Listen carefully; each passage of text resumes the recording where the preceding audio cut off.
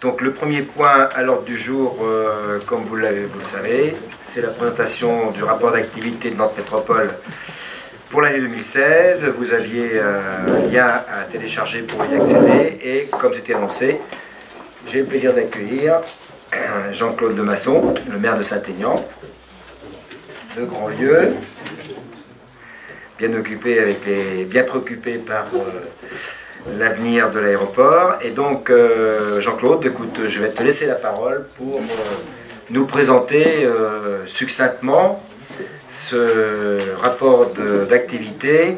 Je précise tout de suite que ce qui concerne la partie des sorinières, je propose, comme chaque année, qu'on le voit avec le directeur du pôle en début d'année, puisqu'on fait un rapport à chaque fois. Donc, on a déjà parlé de 2016 avec M. Éveillé. Donc on propose de, faire que la partie euh, métropolitaine. Voilà, donc euh, à toi Jean-Claude.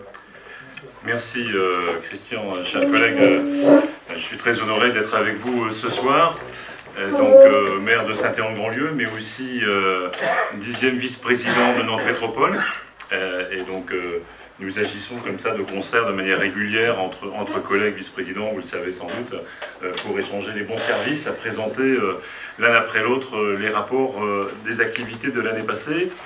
Alors je suis vice-président à notre métropole en charge de l'agriculture urbaine, de la forêt urbaine et des risques et pollutions. Un peu un vaste sujet. Alors, comme le, précisait Christian Couturier, vous aviez un lien pour télécharger le rapport. J'imagine que vous l'avez lu dans le détail et avec euh, attention. Euh, on vous rappelle simplement qu'il a été mis en ligne le, 26 juin euh, dernier et ce rapport est fait conformément au Code général des collectivités territoriales. On va vous présenter en deux temps, si j'ai bien compris, puisque le troisième temps, s'agissant de la synthèse du pôle, vous le verrez à une autre occasion. Donc d'abord, je vais essayer de faire le plus court possible, il y a quand même une densité d'action, et puis la synthèse financière euh, on parlera gros euh, sur la fin. S'agissant euh, de la présentation de l'action de la métropole, donc trois temps. Le premier sur la thématique de la métropole innovante, créative, attractive et rayonnante. Sur ce sujet, donc un certain nombre d'éléments. D'abord, le pacte métropolitain qui a été arrêté ensemble au Conseil métropolitain très rapidement au début du mandat, qui s'appuie en fait sur trois principes euh, fondateurs. D'abord, plus de solidarité, en particulier en faveur des communes les moins peuplées, pour assurer un, aménagement équilibré. Plus euh, d'efficacité grâce à de nouveaux grands équipements métropolitains et la valorisation des potentiels des communes au service du rayonnement commun en matière sportive, culturelle et touristique. Et puis le troisième euh, principe fondateur, une gouvernance renouvelée entre les communes, plus collective et ouverte avec un conseil de développement renouvelée et une association étroite avec les acteurs et les citoyens. S'agissant du, schéma de coopération et, de mutualisation, donc plusieurs éléments euh, sont aujourd'hui totalement d'actualité. D'abord les groupements de commandes. J'imagine que les sorinières se sont associées à des groupements de commandes. Je pense à l'énergie par exemple, mais on peut aussi penser à la reprographie euh, ou euh, dispositions administratives.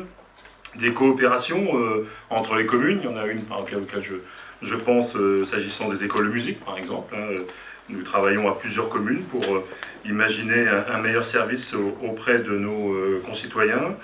Des mutualisations entre les, communes et la métropole, un certain nombre de sujets, avec une règle de prise en charge financière élaborée et acceptée par les communes concernées. La dernière en date s'agissait de, par exemple, la surveillance des espaces publics en, vidéo protection partagée à quatre communes.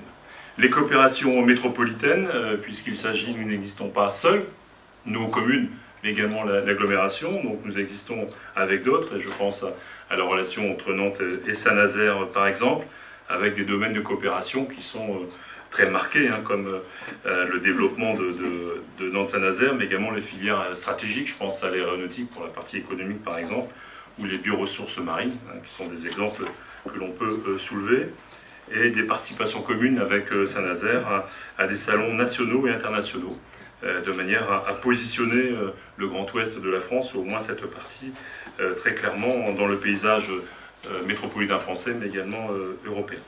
Et puis, par exemple, la mise en place du service de fret fluvial entre Nantes et Saint-Nazaire, avec une coopération très forte d'ailleurs, renforcée en 2017, mais vous aurez l'occasion de le voir avec le rapport en 2017 le pôle métropolitain euh, Loire-Bretagne, avec une coordination euh, politique sur des sujets d'actualité pour le Grand Ouest, un certain nombre de sujets. Ça concerne euh, des travaux de coopération entre Angers, Brest, Nantes, Rennes et Saint-Nazaire. Donc on va bien au-delà de notre propre périmètre des 24 communes sur, par exemple, l'amélioration de l'accessibilité ferroviaire du, Grand Ouest, hein, sur, avec les études sur la LNO-BPL, par exemple, la structuration de l'enseignement supérieur à l'université, c'est important. On sait que Brest est très développé. Euh, LNU-BPL, liaison nouvelle de l'Ouest euh, Bretagne-Pays Excusez-moi, effectivement, parce que les acronymes, il y en a quelques-uns, quelques-uns effectivement. Euh, et puis les développements économiques, bien évidemment, qui participent euh, à cette coopération, avec un élément qui se renforce au fil du temps, et encore plus euh, ces temps derniers, entre 2016 par exemple et, 2017, euh, c'est la colonne vertébrale du Grand Ouest, c'est la, coopération entre Rennes et Nantes. Hein. Ce sont bien des agglomérations qui travaillent ensemble, je pense au domaine hospitalier universitaire par exemple, euh, et qui ne sont pas en concurrence, contrairement à ce qu'on peut parfois entendre. Des missions d'innovation et de numérique il y a donc un, plan transversal qui a, euh, qui a vu le jour, euh, qui a été mené en 2016 notamment les espaces de coworking hein, pour les entreprises, par exemple, les porteurs de projets. Eurocities, vous avez sans doute entendu parler de cette structure qui réunit 130 métropoles européennes. Nantes Métropole présidait le réseau Eurocities en 2016. et puis sur le numérique, vous avez par exemple l'application Nantes dans ma poche, euh, peut-être que certains d'entre vous l'ont téléchargé sur leur smartphone, euh, smartphone pardon, ou, iPhone. Bah, sachez qu'en 2016, il y a eu 78 000 téléchargements euh, qui ont été identifiés dès la version pilote de mars. Donc vous voyez qu'on attend très très court. Vous pouvez par exemple retrouver les repas des cantines scolaires si vous le souhaitez ou d'autres éléments d'information. Un élément important puisque le numérique ouvre d'autres perspectives, et donc là on parle de l'open data, euh, essayer de, mettre en place euh, des, bases de données euh, numériques, eh bien sachez qu'en 2016 il y avait 786 jeux de données disponibles sur le site data.nantes.fr, mutualisé avec le département de la Loire-Atlantique. Il y a en moyenne 600 000 accès mensuel aux données statistiques. C'est bon, j'imagine que chaque habitant ne le fait pas au moins une fois, mais ça correspond, si on veut mettre euh, des parallèles, à, autant d'habitants de l'agglomération nantaise. Et puis, 2016 euh, euh, également, nous pouvons signaler la Nantes Digital Week, hein, la semaine de toutes les cultures numériques, qui s'est tenue en cette année 2016. Les partenariats institutionnels, on va faire assez court, mais par exemple le contrat euh, plan État-région 2015-2020, euh, donc 2016 bien évidemment, est, dans cette perspective avec un certain nombre d'éléments. Je pense aux, installations euh, ferroviaires et la préparation des travaux de la gare de Nantes par exemple. Et puis le pacte métropolitain d'innovation, le projet du mine, pas très loin de chez vous, s'inscrit totalement, avec des aides non, non négligeables, puisque l'État soutient ce pacte métropolitain d'innovation à hauteur de 9,5 millions d'euros, par exemple. Également le fonds de soutien à l'investissement euh, local. Euh, là, la Nantes Métropole s'est vu attribuer en 2016 3 millions d'euros par l'État pour financer l'accessibilité et la performance énergétique euh, du mine, par exemple. Et puis le FEDER en 2016, bien évidemment, les fonds FEDER sont toujours disponibles. Fonds européen de développement, effectivement. Merci, Christian en allant vite parfois, effectivement, on contracte. Euh, une thématique importante, c'est le dialogue citoyen. Euh, je présume que la ville des Sourinières y a participé, et peut-être quelques-uns d'entre vous, si ce n'est tout le monde. Euh, un certain nombre de sujets sur l'exercice 2016, notamment le lancement du second grand débat hein, sur la transition énergétique. La transition énergétique, c'est nous. organisé de septembre 2016 à mars 2017, nous avons pu prendre connaissance euh, ces dernières semaines euh, du résultat euh, de cette concertation. L'installation également en 2016 de la conférence permanente Loire, qui faisait suite au grand débat sur la Loire, même si nous sommes un peu, nous, éloignés ici de la Loire, malgré tout, la Loire traverse notre, notre agglomération. Et puis un certain nombre de co-constructions ont été organisées. La transition écologique au cœur du projet métropolitain, euh, dans la foulée euh, donc, du, grand débat qui a été lancé en septembre sur Marche, des réflexions et actions collectives ont été, euh, ont été organisées. Je l'évoquais tout à l'heure, la remise à, disposition des maires de, ce rapport a eu lieu en septembre dernier. Ensuite, un point qu'on évoquait un peu tout à l'heure très rapidement avec Eurocities, on va s'arrêter quelques instants sur le confortement euh, des territoires et l'ouverture euh, à l'international, notamment en 2016, une volonté euh, d'associer, de conforter les partenariats avec des territoires cibles. On pense au Québec par exemple. on a vu que, ne serait-ce que Longmois par exemple, Cheval Dragon, a été, revient de, de, Québec pour remplacer l'éléphant pendant quelques temps, là, et également des coopérations avec le Japon, euh, parce qu'il y a là, au travers également euh, des sites industriels d'importance euh, dans l'agglomération, la nécessité d'organiser des échanges mondiaux. Au cœur des, réseaux européens, un certain nombre d'éléments. J'évoquais Eurocities tout à l'heure, je pourrais citer également le pacte de Milan. Alors, le pacte de Milan, c'est un pacte sur l'alimentation des villes du monde. Nous avons signé en octobre 2015 et, d'ailleurs, je représente à ce titre la métropole. En octobre 2015, nous avons signé le pacte de Milan, euh, voilà, sur les fonds baptismaux donc à Milan, euh, en Italie. Euh, et donc aujourd'hui, nous sommes 141 villes du monde à s'associer pour travailler ensemble sur comment organiser une alimentation saine et accessible pour tous. Accessible physiquement et accessible évidemment à sa disposition sociale. La coopération internationale, je ne vais pas m'y attarder plus que ça, mais il y a malgré tout euh, des thématiques euh, qui, concernent les communes. Je pense par exemple à l'application de la loi sur l'eau, que votre maire euh, connaît bien, qui participe à un certain nombre de sujets de discussion.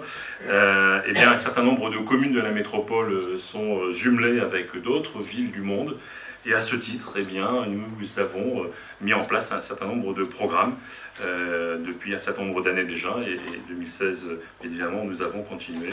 Euh, je pense à, des, communes qui sont ou en Europe de l'Est ou en Afrique, par exemple, pour certaines d'entre elles. je ne sais pas si les Sourinières sont jumelées, je ne crois pas.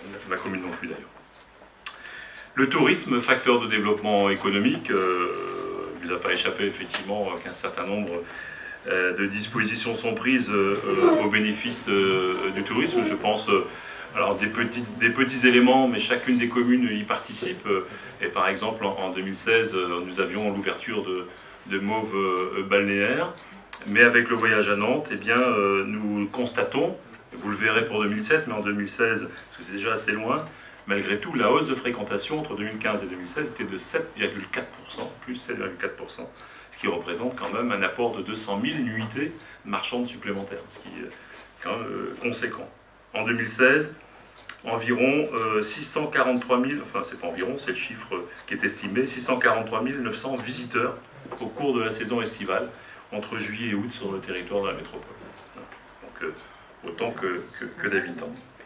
Ça représente environ 51 millions d'euros dépensés estimés sur notre territoire ce, que, représente aujourd'hui l'attractivité.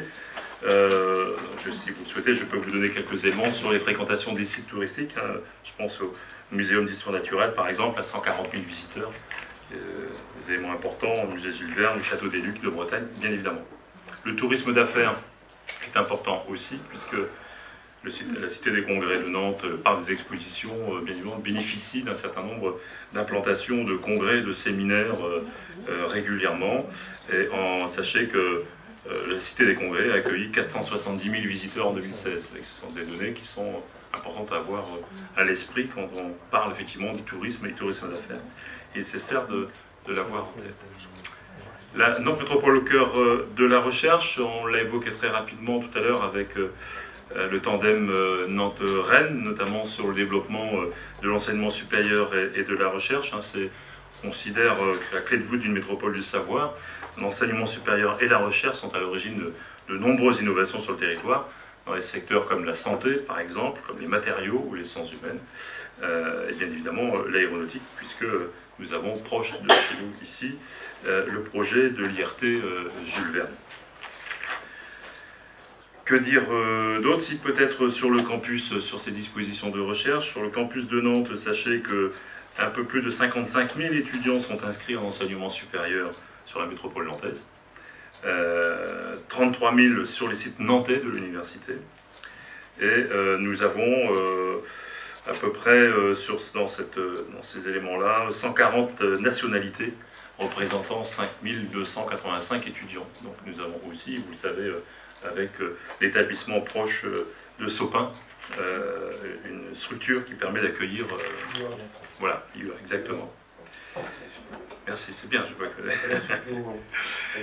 Alors, nous encourageons également, à travers l'innovation, la création, l'innovation et le développement du numérique. Je l'évoquais très rapidement tout à l'heure sur les éléments un peu structurants. néanmoins, on peut retenir, au travers ces éléments-là, le développement du quartier de la, création. Hein, sur l'île de Nantes. L'IRT Jules Verne, je évoqué à l'instant, elle est encore en, phase de construction. Après le Technocampus et le Techno-Océan, un certain nombre de projets euh, arrivent et arriveront. Euh, avec l'IRT Jules Verne, c'est le pôle de compétitivité EMC2.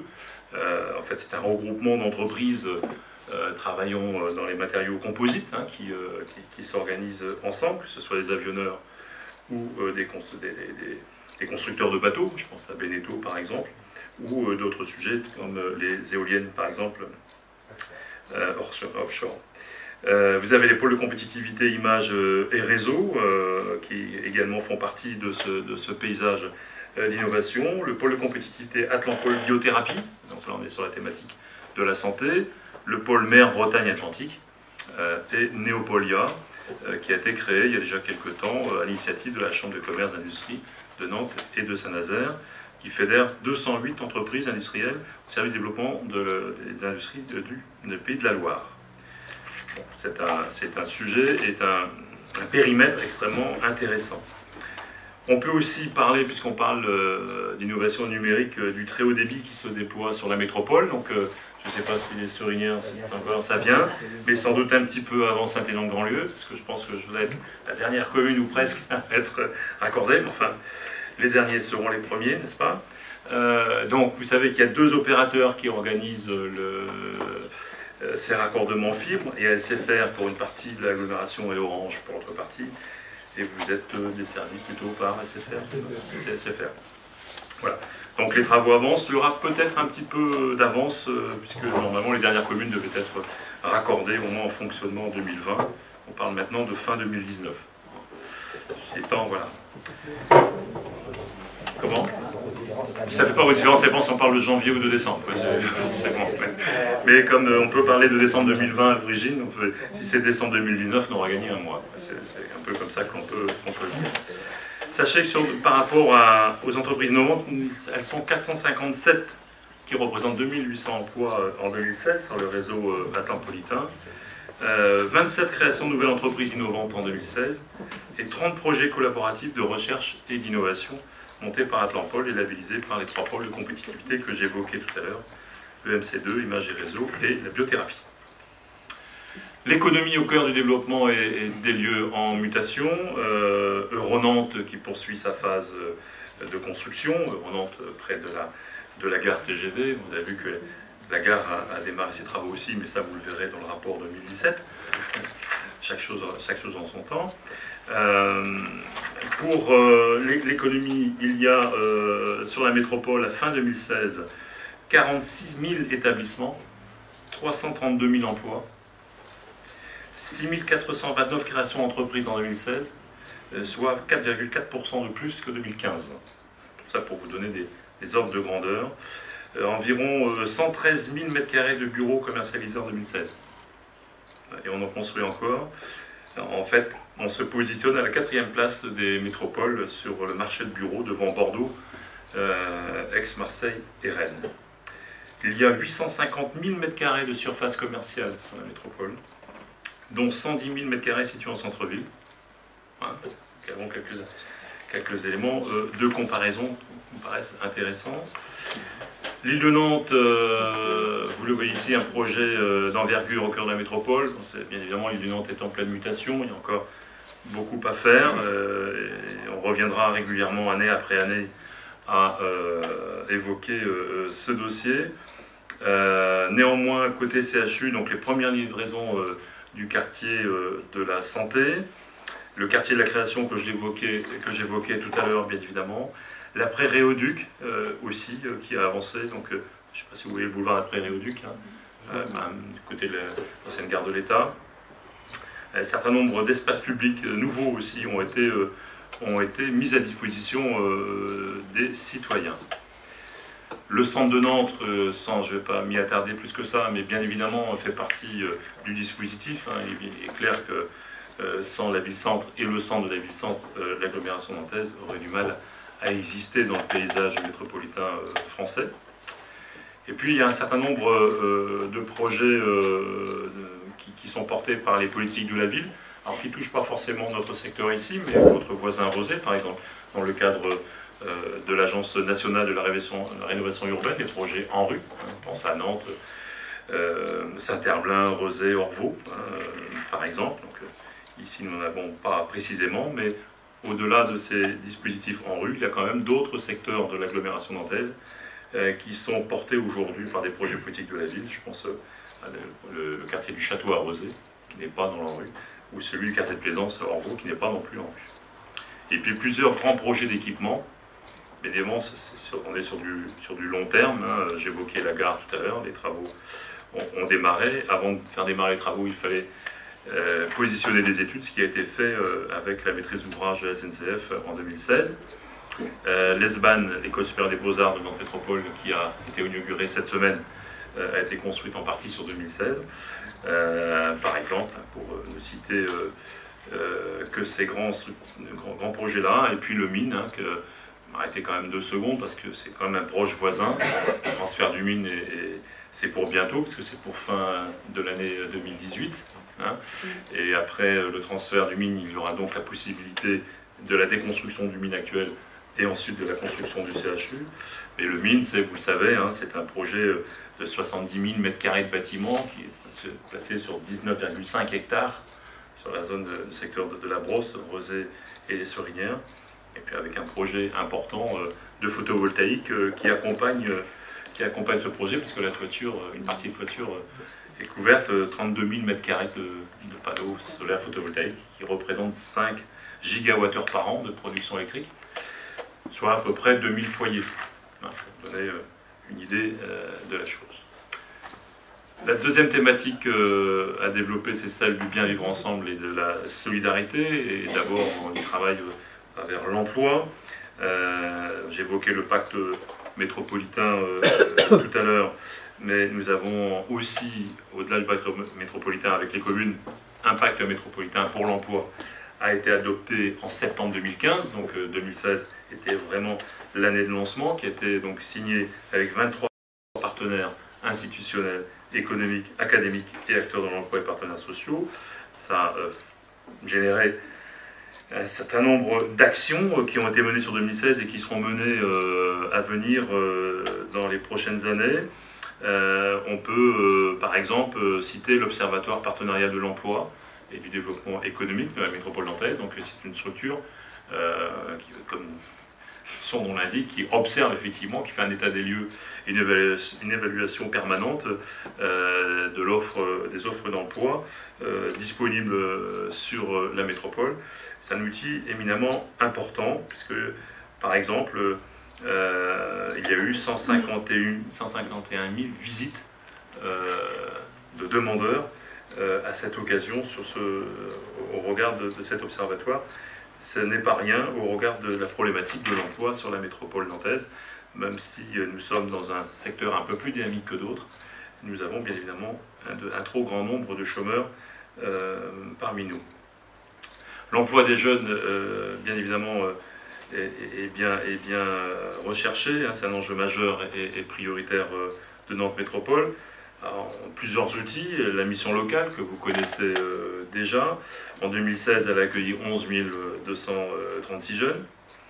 il y a eu un retour à l'emploi de 2420 jeunes, donc des éléments importants, des contrats en alternance. On parle souvent d'apprentissage, contrat en alternance, et ça existe. Hein malheureusement trop peu, mais 366 jeunes en 2016 ont pu bénéficier euh, d'un contrat euh, en alternance.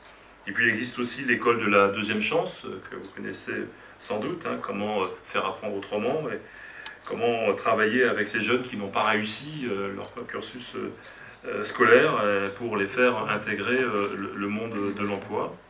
Et puis également, un travail partenarial avec les communes a été lancé en 2016, notamment avec les problématiques euh, euh, de recherche de stages, toujours euh, un vrai problème, les stages scolaires, mais les stages de fin de cycle d'études, eh bien, les communes s'organisent entre elles pour justement offrir ces accès à ces stages et organiser la, mobilité.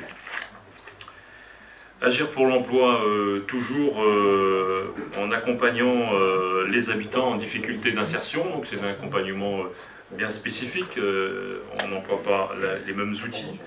Euh, dans le cadre du plan local pour l'insertion et l'emploi, le PLI, connaissez peut-être sous cet acronyme, donc la maison d'emploi coordonne euh, les dispositifs d'insertion. En 2016, ce sont près de 2000 personnes qui ont été accompagnées par le PLI et près de 1900 accès à l'emploi. Et puis également, on parle d'accès à l'emploi, et eh bien un certain nombre euh, de clauses peuvent être intégrées dans le cadre des marchés publics. Nous y avons travaillé euh, en 2016, et notamment euh, donc, sur la clause de l'insertion, hein, la clause sociale. ça a permis effectivement en 2016 à 884 personnes de bénéficier à, un contrat de travail grâce à 346 000 heures d'insertion dans le cadre de la clause d'insertion par 295 entreprises. Ça fait beaucoup de chiffres, mais ça vous donne un peu des enveloppes il me semblait intéressant de, vous dire si vous ne les avez pas euh, pris en compte en, lisant le document. Euh, voilà ce que je peux dire sur ce sujet-là. Et puis développer une économie euh, sociale et solidaire. L'année 2016, en, termes d'ESS, donc on a lancé une feuille de route ESS 2020. L'année 2016 donc, était la première année de la, de la, mise en œuvre de cette feuille de route. Hein. Euh, qui a été construite, cette feuille de route, en, 2015, selon trois axes principaux. Je pense que c'est important, euh, quand on parle de SS, de bien avoir les, éléments en jeu. Non, je pense que c'est après. Oui, je suis toujours sur la, sur la, bonne diapo. Il y a pas de mal. Euh, donc, le premier, premier axe, inciter, accompagner, soutenir l'innovation et les coopérations entre les acteurs dans leurs diverses activités et actions. Affirmer l'innovation sociale comme un réel enjeu au même titre que l'innovation technologique et contribuer à la transition énergétique.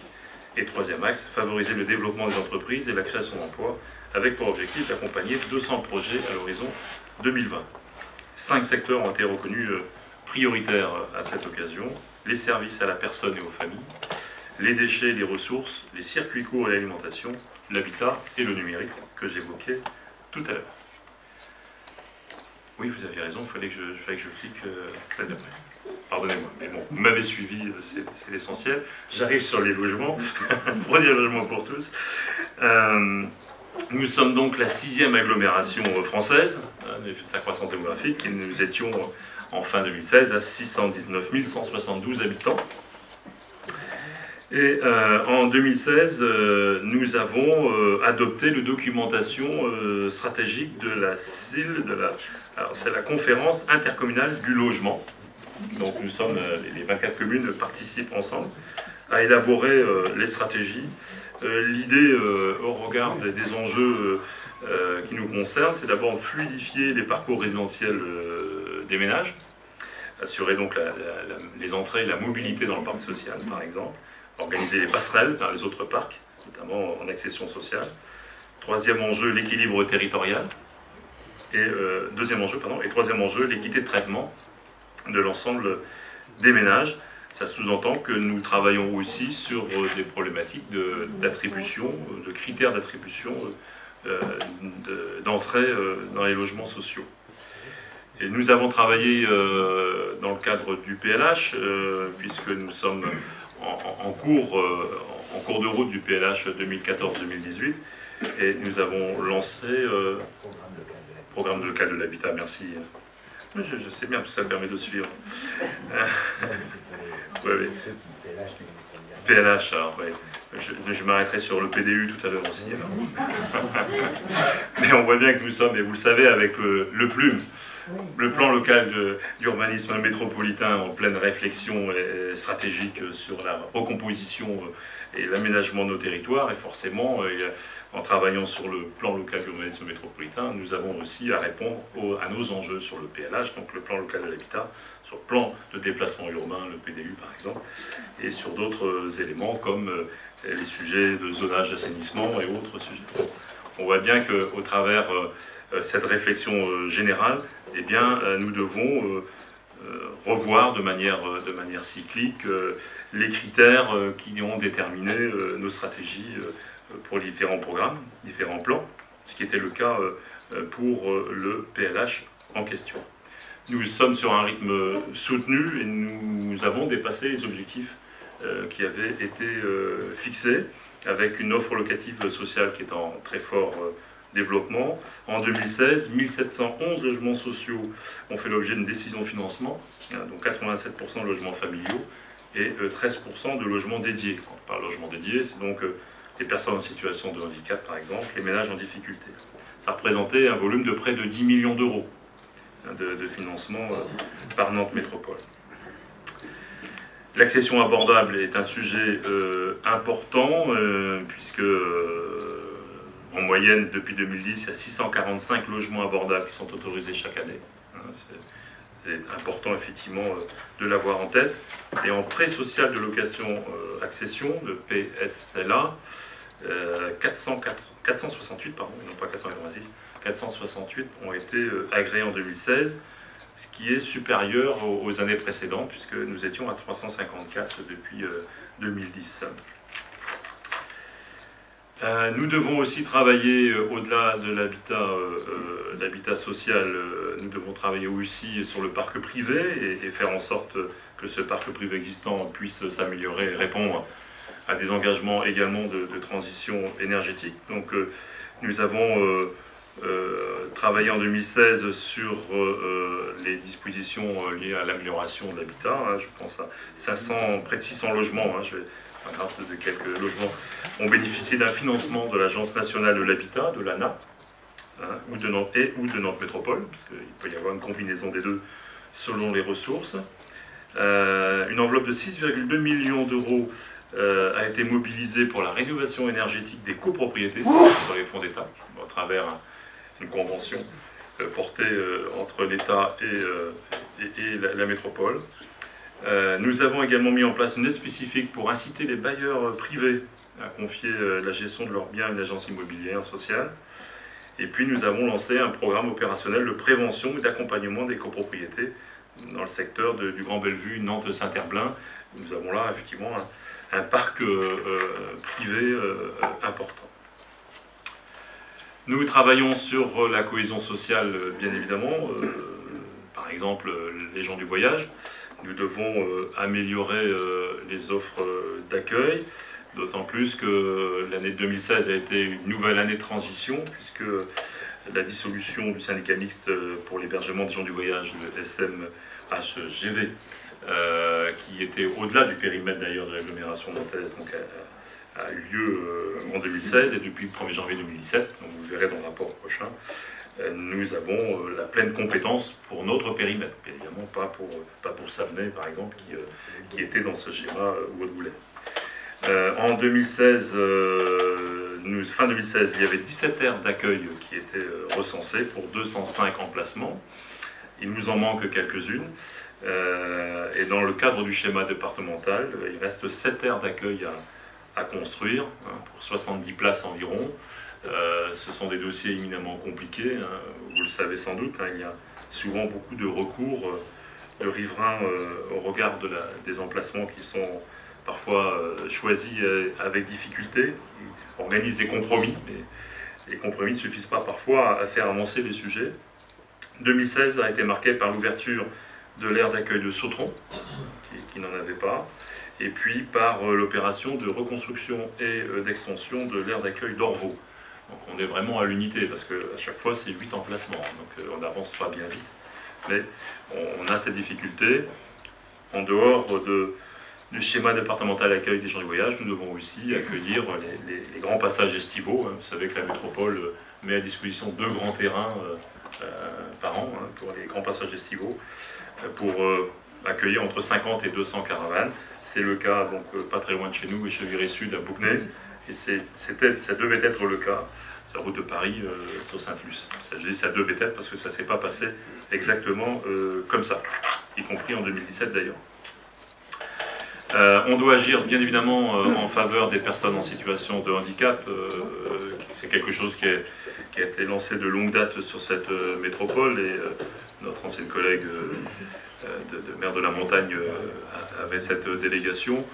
L'idée étant sur le, sur le fond, sur le fond d'action pour 2015-2020 de favoriser l'accessibilité universelle aux services publics avec un confort d'usage pour tous, tout type de handicap construire une société inclusive pour assurer le plein exercice de la citoyenneté, renforcer la place de l'usager au cœur de l'action publique et dynamiser et renforcer l'action publique.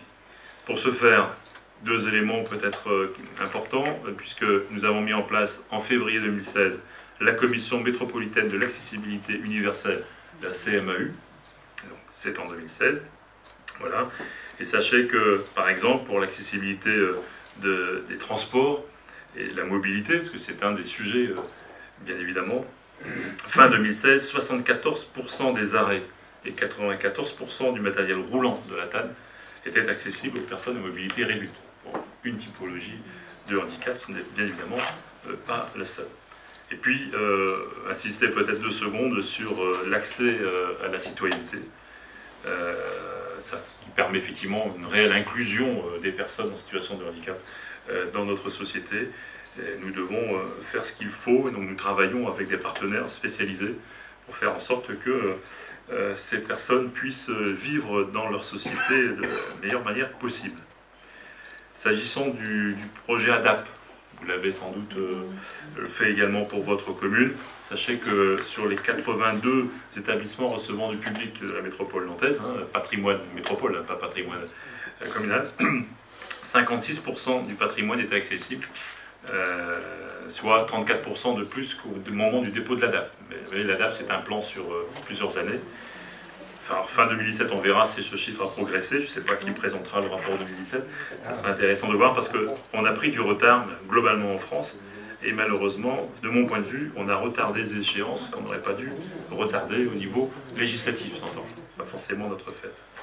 Et bien évidemment, agir pour l'égalité, je dis bien évidemment parce que ça semble être l'actualité, euh, ce qui me chagrine toujours un peu de parler d'actualité de cette manière, mais euh, l'égalité entre les femmes et les hommes, euh, c'est un, vrai sujet, donc plusieurs actions au travers nos partenaires habituels, que ce soit pour la partie de l'emploi, que ce soit pour la problématique liée aux violences, par exemple, ou l'égalité professionnelle, ce sont des sujets qui sont portés par la métropole, bien évidemment. La ville durable est accessible pour tous. Euh, qu'est-ce que l'on peut dire par rapport à ça? Eh bien, que l'année 2016 a été euh, marquée par la déclinaison opérationnelle du contrat de ville à l'échelle des 15 quartiers prioritaires de la politique de la ville pour quatre des communes de, l'aglo, Nantes, Orvaux, Rosé et Saint-Herblain. Ça suit un petit peu les, sujets de l'ANRU que j'évoquais tout à l'heure. Un nouveau cadre contractuel de la gestion urbaine et sociale de proximité, GUSP, je vous l'acronyme après maintenant, qui était mis en place. Voilà, un certain nombre de sujets, euh, bien évidemment, euh, traités. La troisième thématique euh, est celle de la métropole engagée pour la transition écologique et énergétique. là également, beaucoup de choses ont, vu le jour et, des temps forts. Le premier temps fort a été celui du sommet de Climate Change qui a suivi la COP 21 de l'année précédente.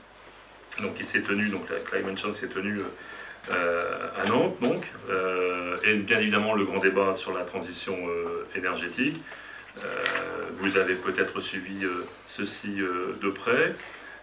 sachez malgré tout que, à ce titre, par exemple, de manière à être pragmatique, 150 copropriétés, j'évoquais copropriété, les copropriétés tout à l'heure, 150 copropriétés, donc 9400 logements ont été suivis euh, depuis le début du dispositif pour euh, organiser leur rénovation thermique et faire en sorte qu'elle soit plus accessible également au regard des charges locatives.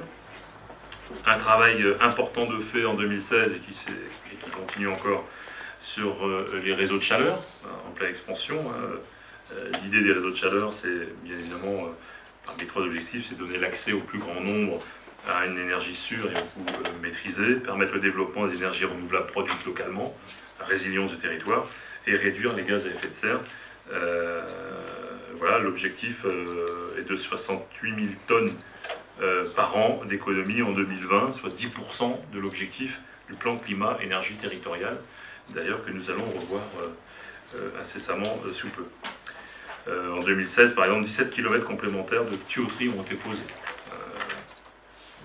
Euh, un, territoire producteur d'énergie renouvelable, euh, j'ai évoqué tout à l'heure la toiture du mine, mais qui n'est pas encore construite, mais par exemple, nous avons lancé le cadastre solaire. Je ne sais pas si vous avez eu l'occasion d'aller sur, sur le site internet de, Nantes Métropole, je vous invite à, à, le faire. Vous, si vous voulez voir si votre toiture, si vous avez une maison individuelle par exemple, euh, peut produire de l'énergie électrique, et eh bien vous, allez zoomer et vous aurez effectivement l'information euh, de ce qui est possible de faire en fonction des orientations à la surface disponible.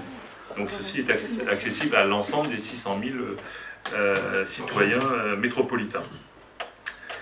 L'optimisation énergétique de l'éclairage public également, on continue à travailler sur l'éclairage public. Et puis bon, vous savez qu'il existe un point ou des espaces info-énergie 1500 contacts ont été pris en 2016, hein, comme quoi ce sont des sujets euh, que les gens attendent. Je parlais de photovoltaïque tout à l'heure. Sachez qu'en fin 2016, 83 500 m2 de panneaux solaires photovoltaïques existaient sur le territoire. Donc, euh, dont 13 000 m2 sur les bâtiments publics. Ça sous-entend qu'un certain nombre de privés ont investi au fil des années euh, dans du solaire photovoltaïque, parfois euh, par conviction personnelle environnementale, parfois par conviction davantage pécuniaire, mais bon, ça, le tout étant de, produire de l'énergie renouvelable. Des déplacements urbains, donc je parlais du PDU tout à l'heure, un nouveau PDU est en place, plan de déplacement urbain. nous avions déjà élaboré un PDU 2015-2030, donc nous, sommes en train d'analyser et d'évaluer effectivement l'élément intermédiaire. Et puisque nous revisitons le PLUM, nous allons donc retravailler et nous avons lancé euh, cette, euh, réflexion euh, fin, fin d'année 2016. Nous aurons encore, bien évidemment, à faire. Un certain nombre d'études ont été menées. Peut-être quelque chose à retenir de 2016, c'est la mise en œuvre d'un service de transport fluvial, hein, puisque aussi c'est la suite logique euh, du débat euh, sur la Loire, eh bien, sachez que euh, la barge aujourd'hui existe et, dessert notamment l'activité industrielle, je pense à, Airbus. Des réseaux de déplacement donc, complémentaires et accessibles. Vous avez sur les Sorinières la chance d'avoir une ligne chronobus. la chance, enfin, il y en aura pas à Saint-Pierre-de-Grandlieu, donc je ne suis pas jaloux, hein, rassurez-vous. Euh, mais bon, effectivement, je pense que c'était attendu, même si sans doute on peut toujours améliorer, et j'espère que les travaux de la porte de Rosé euh, qui sont en cours vont permettre euh, d'améliorer l'efficacité de, cette, de cette ligne. Néanmoins, à fin 2016, Nantes Métropole possédait un réseau de 45 km de tramway, 7 km de busway, 7 lignes chronobus, pour un réseau de 70 km c'est pas, pas neutre. Euh, et la fréquentation du réseau TAN, puisque on dit qu'il y a beaucoup de voitures à Nantes, c'est vrai, mais il y a aussi beaucoup de voyageurs, puisque 1 million de voyageurs de plus en 2016 par rapport à 2015, nous en sommes à 133,5 millions à fin 2016 de voyages. 133,5 millions de voyages sur le réseau TAN. Pas réseau Chronobus, tout confondu, on s'entend bien. Mais on voit bien effectivement qu'il y a une progression euh, euh, conséquente euh, du nombre de voyages sur le réseau de transport en commun, même si nous constatons qu'il y a aussi toujours beaucoup de voitures. justement, puisque nous y sommes, nous recherchons à, à favoriser les déplacements doux. Alors ça peut être effectivement au travers le plan vélo hein, qui a été adopté en février 2016, donc nous sommes dans l'actualité du rapport. 45 km ont été aménagés pour les vélos en, 2016, ce qui, est, important ce qui constitue en fait une continuité cyclable de 545 km sur l'agglomération. Euh, notez que bien évidemment, toutes les, selon euh, les, tronçons routiers, euh, les pistes sont plus ou moins cyclables, on va dire. nous avons aussi un axe sur le stationnement vélo qui est, important, que porte notre collègue Jacques Garot de Bois. Euh, puisqu'il s'agit aussi pour assurer euh, notamment la notion du dernier kilomètre, hein, comment on organise euh, notre transport. Eh bien, nous avons la, volonté de créer des places supplémentaires en vélo-parc. Il y en a eu, 96 de créer en 2016.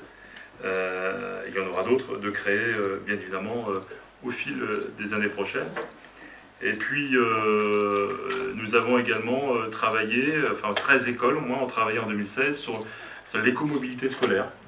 Euh, comment euh, faire en sorte effectivement que nos petits bambins euh, aillent plutôt en vélo qu'en voiture en classe, en primaire. Accompagner le changement de comportement de mobilité, bien par exemple le plan de mobilité, sachez que 510 employeurs totalisant 122 000 salariés étaient engagés dans la démarche de plan de mobilité ce qui n'est pas rien, 122 hein. 000 par rapport aux 300 et quelques mille euh, que j'évoquais tout à l'heure, donc c'est près d'un tiers, euh, ce qui est aigrement, euh, me semble-t-il, important.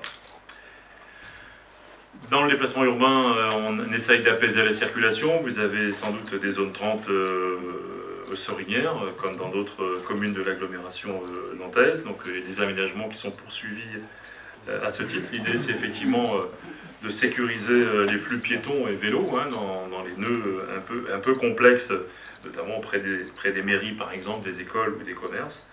Euh, ça reste encore à parfaire, bien évidemment. Et puis aussi, ce sont aussi les offres de stationnement qui s'étoffent, hein, avec des, parcs, des parcs relais, avec d'autres commandes qui sont lancées d'ailleurs. On aura l'occasion au prochain rapport de les voir. Fin 2016, 58 P plus R existaient euh, sur la métropole, soit 8577 places de stationnement. Euh, les zones de stationnement existent bien, même si ça sature, et c'est bien pour ça qu'il y a encore d'autres projets.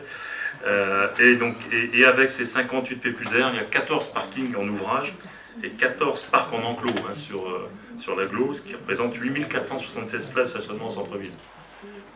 Ce, qui est important malgré tout.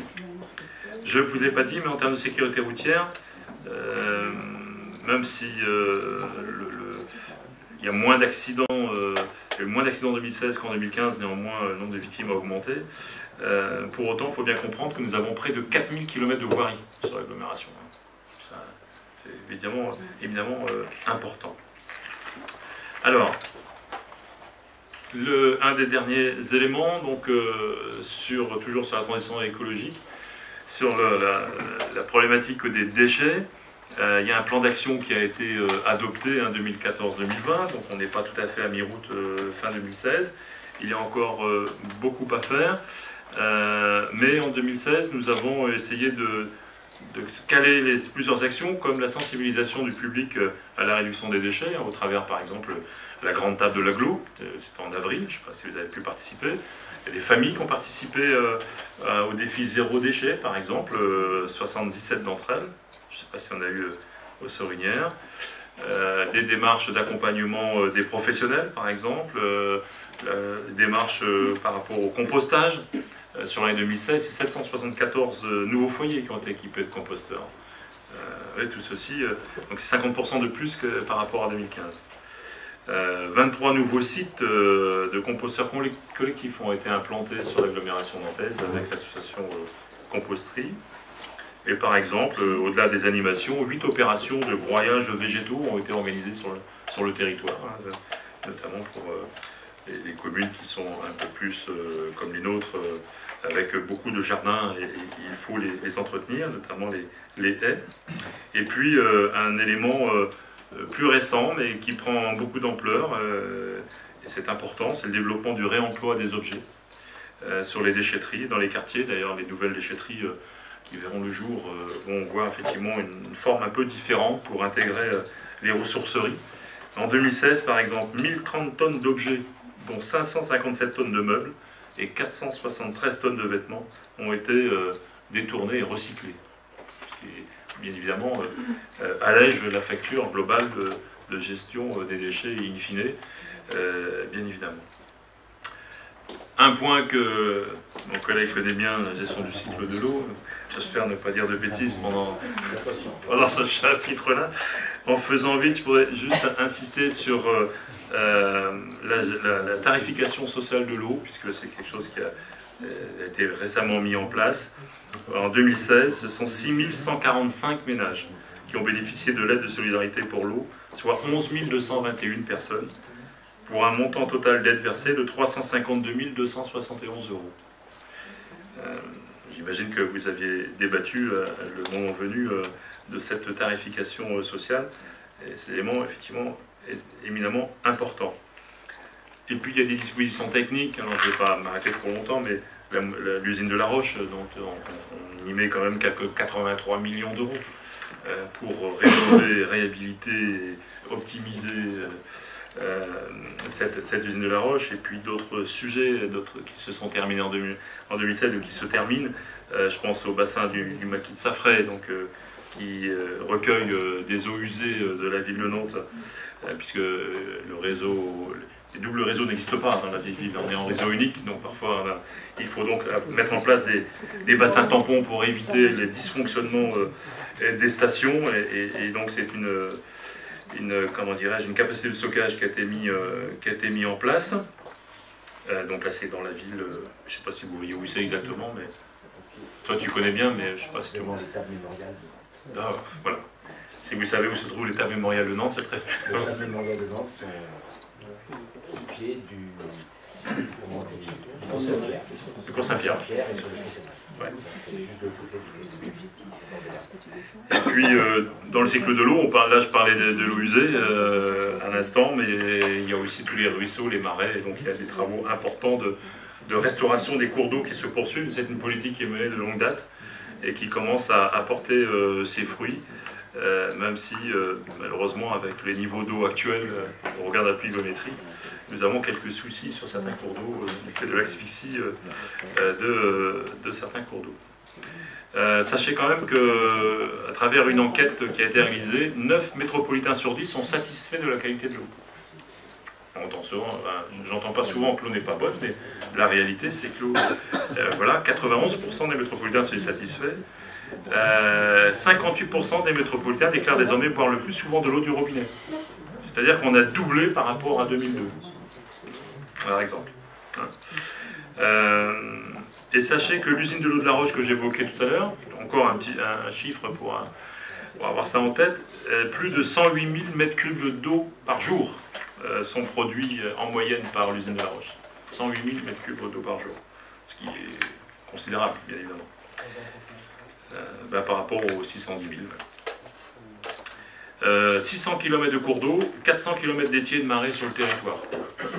c'est moins que les, que les routes, mais euh, ça, voilà, il y a quand même des choses à faire. Il faut, y mettre un peu, de, un peu de temps, un peu d'énergie, un peu d'argent. Un élément que je connais euh, un peu mieux, euh, sont les espaces naturels et, agricoles, du fait de ma, délégation. un certain nombre de sujets. En fait, en 2016, nous étions dans la poursuite des projets déjà, déjà lancés. Donc, je vais juste simplement vous dire que nous avons lancé en, en 2016 l'organisation d'une réflexion sur le projet alimentaire territorial, le PAT, vous avez peut-être entendu parler. Euh, certains d'entre vous euh, ont participé ou vont participer à, des temps d'échange. Euh, nous avons été retenus dans le cadre du, projet national de l'alimentation en mars 2016 et nous travaillons dessus pour pouvoir acter un plan d'action, une stratégie en avril 2018. Donc on est totalement dans l'actualité de ce projet alimentaire territorial qui travaille sur plusieurs entrées, comme je l'évoquais, par rapport au, pacte dominant euh, tout à l'heure. Notre volonté, bien évidemment, c'est de soutenir et développer l'agriculture périurbaine, vous l'avez bien compris, de lutter contre les friches il y a un groupe friche au Sorinière qui travaille régulièrement avec moi sur ce sujet. et l'idée, bien évidemment, c'est de préserver nos espaces naturels, dont les forêts urbaines, dont j'ai l'honneur également de, piloter. il y a 1200 hectares d'espaces naturels et agricoles répartis sur trois sites des huit communes de l'agglomération nantaise. Mais ça, vous le savez sans doute, ça date de 2006. Il ne faut pas oublier que les espaces naturels et agricoles représentent plus de 60% du territoire de la métropole. Donc il faut quand même s'y atteler un peu pour s'assurer effectivement euh, de leur bonne intégration. Dernier élément peut-être sur cette thématique, 244 exploitations agricoles qui représentent 1400 emplois directs, non délocalisables. Ça aussi, ce sont des, éléments euh, importants. Sur les risques et pollutions, euh, nous travaillons, euh, et nous étions en réunion hier euh, pour les communes qui étaient concernées sur la stratégie locale de la gestion des risques inondations. Christian était présent également au titre de sa délégation. nous finissons cette, stratégie de SLGRI, encore un acronyme. Et nous allons terminer par un papy, c'est déjà plus agréable ça, un plan d'application de prévention des risques d'inondation. Et, en fait, l'idée, c'est de travailler sur un territoire résilient, c'est-à-dire qu'ils sont en capacité, malgré un sinistre ou un pic de pollution diverses variées ou un pic d'inondation, de pouvoir continuer à vivre et, à faire en sorte que l'économie continue, bien évidemment, que les écoles continuent, que, les hôpitaux puissent, euh, puissent continuer effectivement leur service. Donc c'est ça la résilience euh, du territoire. Euh, pour autant, il y a quelques problèmes hein, sur l'agglomération, puisque la cellule d'intervention sur la prévention des risques est intervenue 161 fois pour des, problèmes de pollution des milieux. Ça sous-entend qu'il y a bien des pollutions qui arrivent dans nos milieux naturels. et d'un autre côté, en termes de prévention et, euh, des risques incendie. Sachez que nous avons remplacé 131 poteaux d'incendie en, 2016. Ce sont euh, des coûts extrêmement importants quand il faut changer ces poteaux incendie. On n'y fait pas trop attention, mais il y a beaucoup de poteaux incendie sur l'agglomération nantaise et ça nous coûte quelques millions par an.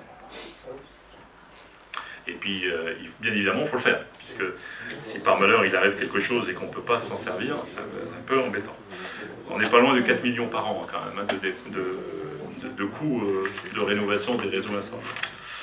Je vais terminer euh, pour la synthèse, par la synthèse financière de l'année. Ça va être assez court parce que je ne vais, pas, faire l'offense de, commenter l'ensemble des diaporamas. Simplement vous rappeler que le budget annuel et en 2016 était d'un 1027,6 millions d'euros, donc un milliard, euh, réparti en 656 millions de fonctionnement et 280 millions euh, d'investissement hein, euh, direct, hein, puisque nous avons aussi 91 millions de remboursement de la dette en capital. C'est ce qui est important de retenir, me semble-t-il, mais si vous avez un petit peu de temps, je vous invite à, creuser un petit peu la réflexion. je vais aller au tableau qui est celui-ci, qui est à mon avis, le plus parlant, c'est euh, un état des lieux de la santé financière de la métropole. Vous avez là un tableau qui euh, reprend euh, les éléments, les, clés en fait hein, du, montage budgétaire entre l'épargne et le financement des investissements entre 2010 et 2016.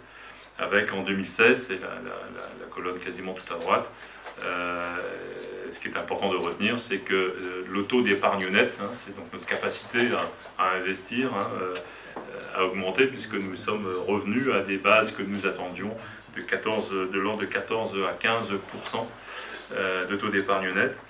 Euh, sachez que la capacité de désendettement euh, à fin 2016, hein, après approbation du compte administratif 2016, était de 3,5 années. C'est-à-dire que vous faites le même calcul que pour, votre commune. Il était de 4,4 en 2015 et de 4,4 en 2014. Il a été de 7 les années précédentes, puisqu'il y a eu un pic d'investissement important au début de la métropole, euh, qu'il a fallu un peu euh, digérer. Nous avions comme objectif de revenir aux alentours de 4 années, euh, sachant que d'autres agglomérations sont à 7 ou 8 ans. Après, évidemment, ce sont des choix stratégiques, mais nous sommes en capacité effectivement d'investir, et plus notre capacité d'autofinancement est importante, moins bien évidemment à, investissement constant nous empruntons, et forcément, euh, moins nous empruntons, moins nous avons euh, de fonctionnement euh, de dette à payer année après année, et nous avons, notamment pour nos enfants et petits-enfants. Voilà ce que je pouvais dire sur le budget en faisant vraiment court. mais bon, ça vous permet d'avoir une image ici, site assez intéressante. Je vous invite à, à la relire à tête reposée. Bien, merci Jean-Claude pour cette présentation. Euh, j'imagine que ça peut soulever quelques questions ou des demandes de précision. Qui veut prendre la parole Tu couperas ton micro pour qu'il puisse parler. Et voilà. Alors, ah, c'est comme chez toi. Alors Bruno? Peut-être ça risque d'être un peu décousu. Je vais te dire, parce qu'il y a beaucoup de sujets qui sont, qui sont abordés, des, quelques commentaires, et puis des, questionnements aussi qu'on peut avoir, et parfois des, interrogations euh, aussi. Je vais revenir sur la, politique euh, de, l'habitat. Donc vous avez évoqué le, PLH, euh, brièvement le, bilan du, PLH sur la période précédente de mémoire, je crois que c'était la période 2010-2013, si je ne me trompe pas. Il y a une production importante, on, a dépassé les objectifs hein, qui avaient passé, vous l'avez rappelé par ailleurs. Euh, la production avec un, pic fort, notamment en début de période, a dû être de 6600 euh, logements, je, crois que c'est ça. Pour autant, là je suis dans le commentaire, il faut, quand même rappeler que euh, la situation en termes de, logements locatifs reste très, très tendue. Hein seulement, euh, bien évidemment, à l'échelle de l'aglo, mais aussi sur le, sur le département, puisque, euh, de mémoire, je crois que c'était euh, fin, 1er janvier 2015, donc c'est un, peu, un peu loin, on doit être toujours à peu près dans les mêmes eaux. On était à 27 685 demandes d'inscrits de, sur, le fichier, sur le fichier commun. ça situe un, petit peu la pression concerne le logement locatif, qui se traduit aussi, bien évidemment, à l'échelle de, de l'aglo où euh, euh, moi j'ai des chiffres qui datent un peu, mais 2014 euh, on était à un déficit de un peu plus de 11 000 logements, 11 600, 681, et donc malgré cette production importante, c'est vrai qu'on accumule toujours un retard, en plus qu'il y a, un, flux démographique important, très, très positif, des habitants qui viennent s'installer sur, sur l'aglo, donc ce qui génère autant de, autant de, autant de demandes sur le, sur le territoire de Nantes Métropole. Alors par rapport à ça, des, inquiétudes, hein, puisque euh, tout le monde le, sait, euh, la décision du gouvernement de, baisser euh, les APL se traduit aussi par une pression sur, les, sur les bailleurs sociaux en termes de baisse du niveau des loyers. Il faut savoir quand même que sur la région Pays de Loire, c'est 61 millions d'euros en moins de, de, recettes effectives pour les, pour les bailleurs sociaux, ce qui va a priori, et, notamment, je dis 61 millions, autant pour moi, c'est 64 millions euh, euh, d'euros hein, sur les chiffres qui ont été euh, communiqués par l'USH des, pays de, Loire, ce qui va générer aussi bah, des difficultés à prévoir dans la, dans la construction de, logements, ce qui a été évoqué aussi par l'USH, et une perspective de, de baisse de 3000 logements en construction euh, donc en ce qui concerne les opérateurs euh, qui sont sur ce, sur ce secteur-là. Donc par rapport à une situation qui est particulièrement tendue, euh, ça génère bien évidemment beaucoup d'inquiétudes, hein, je pense, dans nos, dans nos rangs. Hein. C'était relayé aussi par les, par les associations d'élus, et ça va pas du tout dans le, dans le bon sens, c'est le moins qu'on puisse dire. autre, autre commentaire aussi sur le, sur le, vous l'avez évoqué en ce qui concerne les politiques publiques qui sont menées politique euh, qui se veut être inclusif pour les personnes en situation de handicap. Je pense qu'à l'échelle de l'aglo, on va passer loin.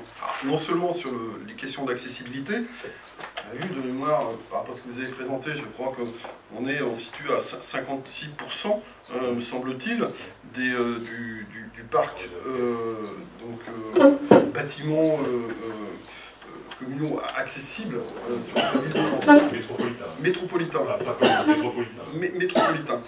Oui, donc 56%, euh, c'est vrai que manifestement, il y a eu des efforts importants de, de. Il y a la législation aussi, qui a été euh, revue et corrigée et qui a contribué aussi à freiner, euh, bien évidemment, l'avancement des, travaux, parce qu'à chaque fois, il a fallu s'adapter, donc ça, ça, génère aussi des difficultés. Pour autant, je pense qu'on va, on, va pas assez loin. Il faudrait aussi dépasser la notion d'accessibilité, ou tout à, tout au moins l'élargir à d'autres problématiques. Et je pense qu'à l'échelle de la métropole, on manque d'ambition sur ces, sur ces, sur ces questions Enfin, c'est mon, mon sentiment. Euh, autre, autre commentaire euh, euh, aussi, en ce qui concerne les, déplacements. ça devient très problématique hein, quand même sur le, à l'échelle de l'agglomération nantaise. je pense qu'il y, y, a des difficultés quand même qui ont été ont été mal ciblés. Il faut rappeler que, euh, alors de mémoire, la construction de pont de Cheviré, ça va être 91, me semble-t-il. 91, 92 dans, ces eaux-là. Ouais, l'ouverture. À l'ouverture du pont de Cheviré, le, flux de véhicules jour euh, avait été évalué à 16 000, si je ne me trompe pas. On est, on est, on est, en 2017, on est à 100 000. 100 000 véhicules jour. Donc ça situe les, les, difficultés au travers des déplacements, euh, notamment pour les, habitants qui se situent sur les deuxième et troisième couronnes de l'agglomération nantaise qui sont appelés à, utiliser leurs véhicules pour aller euh, euh, rejoindre leur, lieu d'emploi. Et, là encore, euh, on ne pourra pas échapper à une réflexion euh, plus approfondie. Alors moi j'entends euh, bien évidemment l'orientation d'essayer de, favoriser, au maximum, c'est acté dans le PDU actuel et, celui qui a précédé l'usage des transports en commun, c'est pas suffisant. C'est pas suffisant. C'est-à-dire que la, durée de, transport pour les salariés, de mémoire, elle est de 67 minutes. 67 minutes, on ne peut pas accepter ça avec des, contraintes et, un impact en termes, de, en, termes de, en termes de santé. Alors il y a des problématiques qui n'ont jamais été abordées, notamment le principe que quand on, vient sur, le, sur, le, sur la métropole, sur l'agglomération nantaise, qu'on vienne du sud, du nord, eh bien on arrive euh, systématiquement sur, euh, sur le périphérique. Il n'y a pas de, ceinture de contournement. Euh, et sur Paris, hein, Paris c'est une, autre échelle, vous avez une ceinture de, contournement, on peut contourner euh, Paris, euh, et on n'arrive pas forcément sur le périph' si on a une autre destination que, que Paris euh, intramuros. Non, vous venez du sud ou du nord, vous arrivez sur le périphérique. Donc bien évidemment, ça contribue à engorger le, flux de, véhicules sur le, sur le, sur le périphérique. Je pense qu'à un moment donné, il va falloir avoir une autre réflexion que celle qui a été menée à bien, euh, euh, et se contenter, se contenter c'est pas péjoratif ce que je dis, mais de tout miser sur l'usage des transports en commun, euh, les, déplacements doux, les déplacements doux, je suis désolé, c'est un peu limité quand même pour les, pour les salariés. Les gens qui habitent à 20, 25 km de leur lieu de travail, imaginez qu'ils ne prennent pas leur vélo pour aller bosser le matin. Et notamment s'il s'agit d'ouvriers qui travaillent en 3-8, euh, avec les contraintes euh, qui, sont, qui sont celles auxquelles ils peuvent être confrontés. Donc bien évidemment, les déplacements, euh, les déplacements doux, c'est un peu plus compliqué. Donc il va peut-être falloir sortir à un moment donné d'une certaine forme excusez-moi, d'idéologie pour moi de certains, de certains dogmes et élargir un tant soit peu le, la réflexion. Voilà quelques commentaires que je, je voulais faire. Je m'arrête là pour laisser la parole aux autres collègues. Alors, est-ce que quelqu'un d'autre veut intervenir? Frédéric? Concernant le plan vélo 2015-2020, euh, l'État ne subventionne plus les... Alors je ne sais pas si vous intégrez les vélos électriques dans le plan vélo. Euh, L'État ne subventionne plus les vélos électriques à partir du, 1er janvier. Et j'ai découvert mon travail cette semaine que la métropole également abandonnait de décider de ne plus subventionner euh, les vélos électriques. Alors je trouve ça un petit peu euh, ennuyeux parce que vu le coût, alors on nous dit ah oui mais maintenant ça marche bien tout, mais vu le coût pour un particulier, je suis bien placé pour le savoir parce que j'en ai un de, ce type de vélo, je pense que cette subvention était quand même bien, surtout si l'État les abandonne. Quoi. Et ça, j'ai un petit peu du mal à le comprendre, parce que c'est vraiment le type de déplacement quand même qui, évite de prendre une voiture, surtout quand on habite un peu plus loin. Euh, il y a beaucoup d'endroits, moi, moi, par exemple j'ai pas de douche euh, sur mon lieu de travail, donc euh, prendre un vélo c'est pas du tout, c'est pas toujours évident, même au niveau des tenues, c'est jamais simple, je précise. Et quand on, habite plus loin, ça peut être quand même un mode alternatif quand on habite plus loin en bord de métropole. Est-ce qu'il y a, euh, a d'autres questions? Peut-être globalement prêt ou euh, Vincent? Oui, je voulais juste revenir sur un chiffre que vous avez donné tout à l'heure concernant euh, l'entretien euh, des bornes incendie. Je suis assez euh, estomaqué du nombre et des coûts. Et la question c'est, euh, c'est quoi? C'est de la dégradation, de la dégradation, de la vétusté Vétusté. Vétusté. Vétusté, ça veut dire qu'à un moment donné, régulièrement, ça n'a pas été euh, Non, bah, il fait- enfin, il faut L'usure. Il y a des gens qui L'orientation ont n'a pas 30 été ou faite. 40 ans. D'accord. On va en C'est- remplacement de matériel. Ça paraît pas, mais c'est assez surprenant en, en- en- en quantité et en montant. Ça m'a surpris aussi. moi. Je, je pourrais être, euh, chiffrer les, les conduites d'eau usée aussi, euh, qu'il faut remplacer régulièrement, c'était assez phénoménal. Est-ce qu'il y a d'autres questions? David? J'aurais voulu savoir, on parlait des déplacements, des, de l'environnement, quelle est la, la politique de Nantes Métropole sur le déploiement des bornes de recharge de voitures électriques?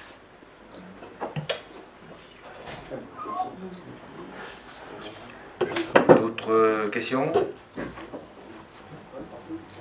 Non? Pas pour l'instant? Tu veux répondre sur quelques sujets ou- Ouais, je vais, on va, peut-être faire, à- faire deux voix si tu veux bien. Vas-y, vas-y, je te laisse et puis tu, je, compléterai après si tu veux. Peut-être par rapport, euh, par rapport à, à l'habitat, à ce qui a été évoqué tout à l'heure en, en- les commentaires en premier lieu, ça, euh, alors sur, la- sur le choix du gouvernement de, de baisser les APL et autres, ça, je ne suis pas bien placé pour en parler, je ne suis pas au gouvernement, donc, euh, mais, mais effectivement je suis comme vous, je constate les dégâts que ça peut occasionner, au, moins, au moins pour le parc de logement social, celui de Saint-Aignan, même s'il n'est pas très élevé, donc je vois bien, j'imagine bien pour les Sorinières, pour la métropole, pour le, département et, la France entière, ce que ça peut donner. Euh, néanmoins, sur, euh, le PLH, le plan local de l'habitat, euh, je pense qu'on est tous conscients, bien évidemment, qu'on on a un manque de, de, logements. Euh, Seulement, on ne peut pas non plus, d'un coup de baguette magique, euh, organiser les choses aussi rapidement que cela. C'est regrettable peut-être, néanmoins, on doit s'assurer, nous, en tant que maires, et c'est en cela que nous, travaillons, euh, les 24 maires, hein, sur, ce PLH, dans le sens de dire on ne peut pas aller plus vite qu'il ne faut. C'est-à-dire que déterminer un nombre de logements à construire par an, d'abord c'est s'assurer d'avoir la capacité de le faire en, tant qu'espace disponible, mais aussi euh, au regard de l'intégration, excusez-moi le terme, je mets des guillemets, de cette population. Euh, chez moi, par exemple, c'est 25 à 30 logements par an. Je ne peux pas les faire pour d'autres raisons. Euh, mais on, a, regardé, par exemple, que l'évolution démographique de la commune qui, me concerne, pour assurer une stabilité de la démographie, c'est 15 à 17 logements par an. Donc si j'augmente et je passe à 25-30 logements par an, ça sous-entend que j'ai une trajectoire euh, d'évolution démographique positive relativement intéressante et qui permet effectivement, un, d'accueillir de nouvelles familles et si possible en logement euh, social ou abordable, hein, parce que euh, les choses peuvent se faire dans les deux sens. Et donc les maires calculent, organisent et réfléchissent au regard de, de leurs problématiques territoriales propres. Et ça donne effectivement un nombre de logements, un PLH commun, qui, est, qui est proposé à l'ensemble des bailleurs sociaux et, des, la promotion immobilière privée. Donc ça, ça me paraît important. Euh, sur les déplacements, euh, je pense qu'il faut aussi, alors même si nous devons, nous, euh, en tant que maire et vice-président et élus métropolitains, euh, nous, devons nous assurer à ce que la politique menée par les uns et par les autres soit en cohérence avec notamment l'accueil de la, de la démographie autour de la métropole, et démographie salariée euh, et la démographie euh, euh, qui est la nôtre. Euh, Il y, a, il y a des- partenaires euh, qui ne font peut-être pas tout leur travail. Et, je pense à l'État, par exemple. Parce que vous évoquez le pont de Cheviré, c'est une, euh, disposition d'État. Le périphérique, c'est l'État, c'est pas la métropole.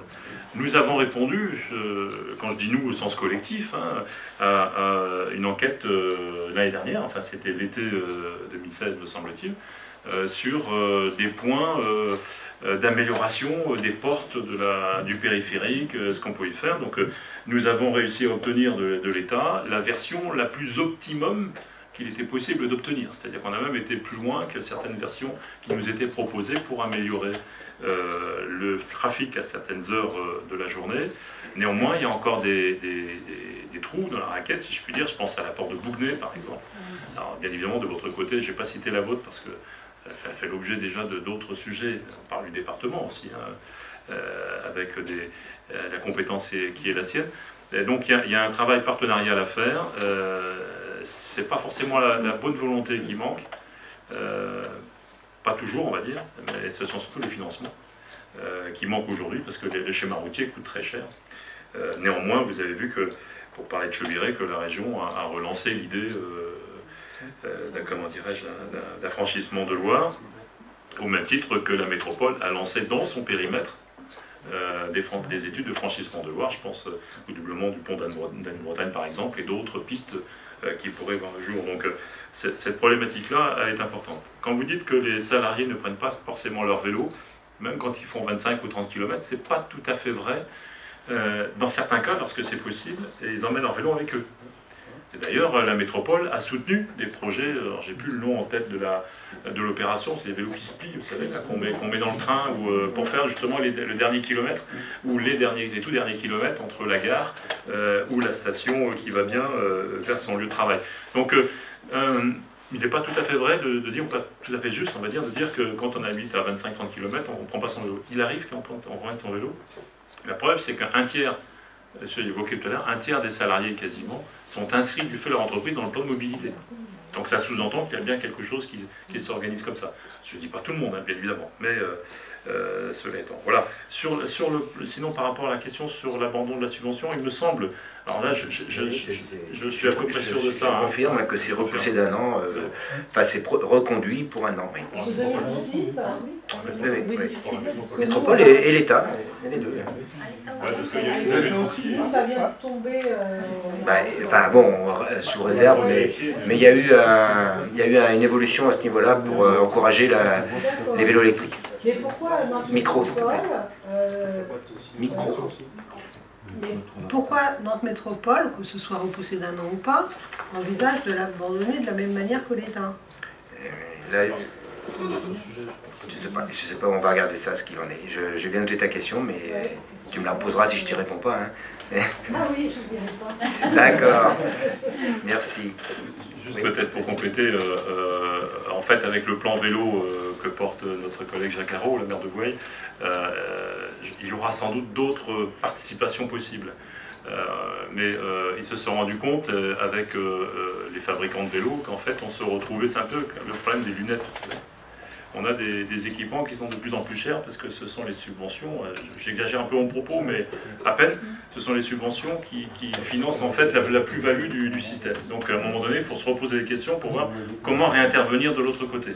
Euh, ça ne veut pas dire qu'il n'y aura pas d'aide demain, hein, bien évidemment, mais peut-être qu'elles sont composées de manière un peu différente.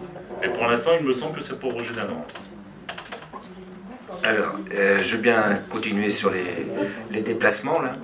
Euh, comme tu l'as dit Jean-Claude, effectivement, pour le fonctionnement du périphérique sur lequel on travaille avec les services de l'État, il y a réellement des projets qui ont été décidés pour améliorer le fonctionnement du périphérique, alors avec des, troisièmes bandes par endroit, euh, des, euh, raccordements du périphérique à d'autres voies extérieures qui seront modifiées, etc. Tout ça c'est prévu, y compris la, porte des Serenières qui, euh, qui nous concerne directement, puisque quand les gens ne peuvent pas accéder au périphérique de manière fluide, eh bien, les remontées se font sur le, la, 83 et après ils traversent le bourg de Serenières. Donc, c'est saturé comme ça. Bon, là, il y a quand même aussi... Euh, alors, donc, nous, on essaye de pousser l'État sur les améliorations du fonctionnement du périphérique. On essaye aussi de trouver des solutions en interne avec des doublements de, ponts euh, à l'intérieur. La métropole a toujours la réflexion euh, qui n'est pas abandonnée sur le, tunnel. mais on voit bien que par rapport à des déplacements qui viennent de l'extérieur, parce que ce n'est pas les déplacements intra-métropolitains, on a des solutions, on y arrive progressivement, mais c'est les déplacements de gens qui viennent de l'extérieur. Et là, euh, la région vient euh, lancer euh, comme ça d'un seul coup, mais quand ils vont commencer à réfléchir au problème, c'est très difficile. Enfin, moi, j'ai peu de... Alors je ne sais pas si on parlait d'espoir ou de, de chance de voir euh, quelque chose aboutir euh, sur, euh, autour de l'agglomération, puisque partout il y a des zones d'habité, partout il y a des zones environnementales qu'il ne faut pas détruire. Quand vous arrivez au bord de la Loire, vous avez des zones Natura 2000, c'est protégé de chez protégé. Hein. Donc vous avez partout des contraintes et j'attends de voir qu'est-ce que peut donner une étude parce qu'ils l'ont tout de suite dit qu'il fallait faire un nouveau pont, qu'il fallait, euh, bon, etc. Après, il faut raccorder partout avec les autres routes. Hein. Euh, c'est pas, ça va pas être si facile qu'ils ont l'air de le dire. Donc moi, j'attends. Moi, je crois que il faut aussi, enfin tu l'as dit, qu'il y a des gens qui prenaient leur vélo euh, pour euh, un bout de parcours. Il faut vraiment tabler sur la multimodalité, c'est-à-dire que bah, vous faites, euh, comme j'ai fait ce matin, un bout en voiture, après en busway, après en bus, et puis après un marche à pied. Et il n'y a, y a, pas, y a pas dans une ville qui se développe et, qui se, et qui, dont la population dans un même espace augmente, il n'y a pas euh, de solution euh, routière, ça c'est clair. il faut, il faut trouver, combiner les différents modes de déplacement. Et donc, euh, mais par contre, le problème, il est effectivement pour l'extérieur. Donc, bah, il faudra trouver des, des axes d'échappatoire pour les, véhicules qui n'ont pas à faire dans l'agglomération. Ça, c'était un complément que je voulais apporter par rapport au déplacement. par rapport à, au logement. Alors, vous avez vu que sur les mesures du gouvernement qui visent, qui visent euh, le logement social, parce que si on n'est pas autrement qu'en baissant des aides de, manière indirecte, euh, le, mouvement HLM euh, a va avoir des difficultés de trésorerie. Donc ils ont décidé pendant un certain temps, alors vous avez pu voir que les collectivités se sont prononcées contre, tous les bailleurs sociaux évidemment. je vous ai lancé tous une pétition à signer si vous vouliez en tant que conseiller municipal pour euh, manifester le désaccord des élus sur ces mesures.